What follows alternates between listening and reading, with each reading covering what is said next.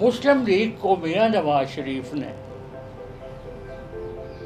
ایک drawing room, drawing روموں یا drawing room کی پارٹی سے اٹھا کے عوامی پارٹی بنا دیا یہ کمال میاں نواز شریف۔ میں آپ کو یقین دلاتا ہوں کہ سندھ میں شکار گیا ایک دفعہ۔ وہاں مجھے لوگوں نے بتایا کہ میاں نواز شریف یہ دریا کے مچھیروں کے اندر بھی پہنچ گئے۔ میاں نواز شریف نے بڑی ہمت سے امریکی لالچ کو بھی ٹھکرایا۔ انہوں نے پانچ بلین ڈالرز کی بھی آفر کی تھی پاکستان کے لیے۔ اور انہوں نے ہر قسم کا پریشر، دباؤ، امریکہ، یورپ، نیٹو، سب سب کا ٹھکرا کے انہوں نے دھماکے کر دی اور ہندوستان سے ایک دھماکہ بڑھ کے کی یہ بہت بڑی کنٹریبیوشن ہے میاں صاحب۔